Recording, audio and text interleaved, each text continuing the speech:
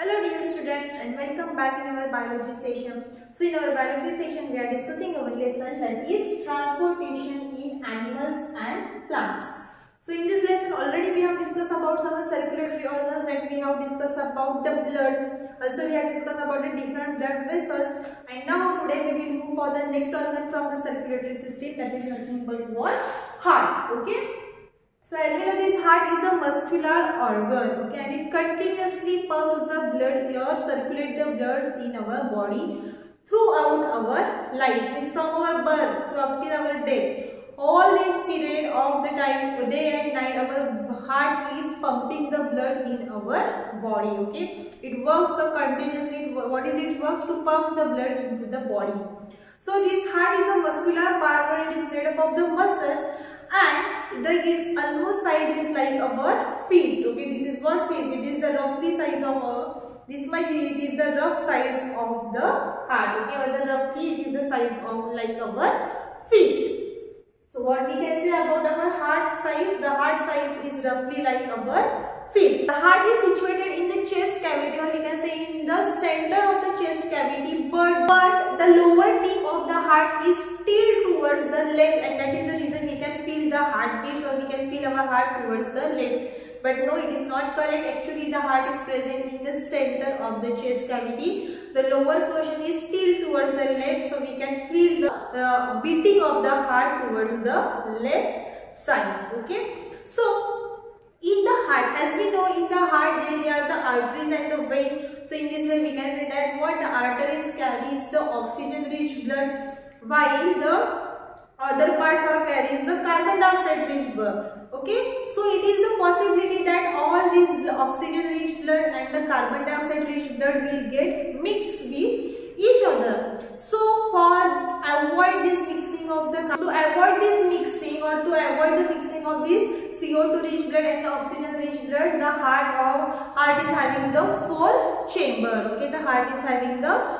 four chamber. We can say that the upper chamber. Okay the upper chamber is called as atrium.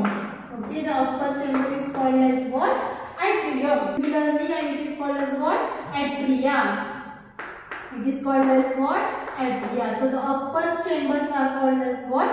Atria. This is singularly we are called as atrium. So upper two chambers are called as atria. While two lower chambers are called as ventricles. Okay, the lower two chambers are called as ventricles. With the help of this atria and with the help of these ventricles, the mixing of the bloods are getting avoided oh, because of these two atria and two ventricles all together we can say that what?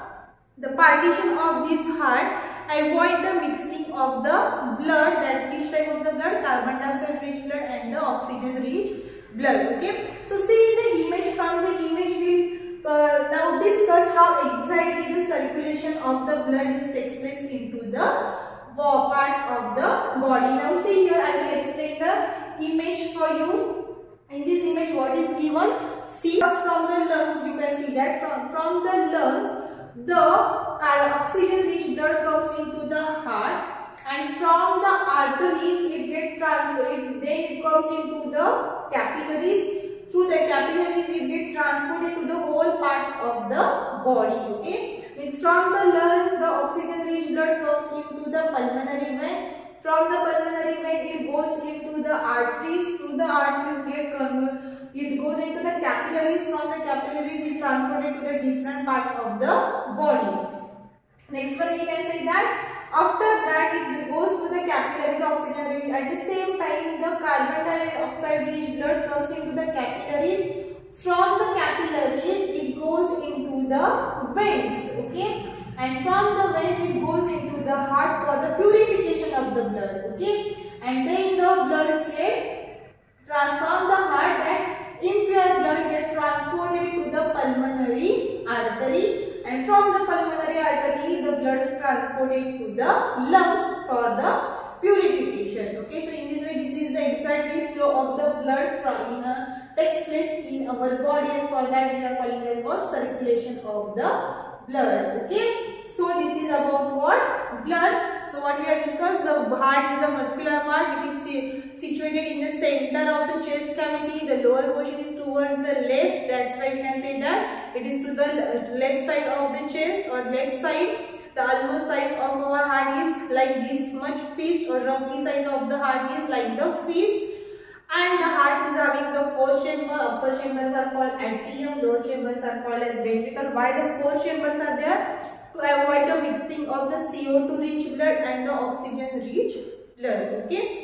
So this is all about heart. Now we will discuss about the heartbeats. So just now we have discussed that heart is made up of muscles and these muscles of the heart is continuously doing contraction and relaxation. Okay.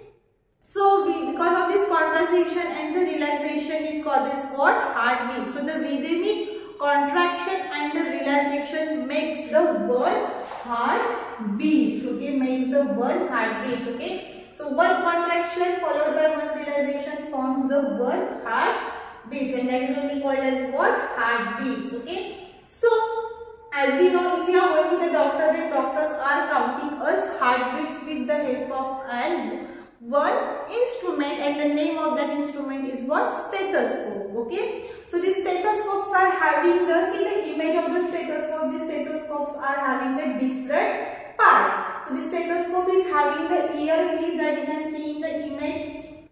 Also the stethoscope is having, so the stethoscope is having the chest piece which is uh, along with the sensitive diaphragm. Okay, so see in the image you can see the earpiece also you can see the chest piece and that chest piece having the very sensitive diaphragm and also this uh, stethoscope consists the tubes. Okay, so this is all the parts of the stethoscope which we are using to check our heartbeats. Okay, so with the help of some uh, things which are available at our home, we can make the homemade stethoscope also for that one activity is given that is activity number 11.2 which is given in your textbook. You can go through that. Okay, so now we have discussed about the heart and the heartbeats. Okay. So here we will stop. We'll meet in the next video with the next point.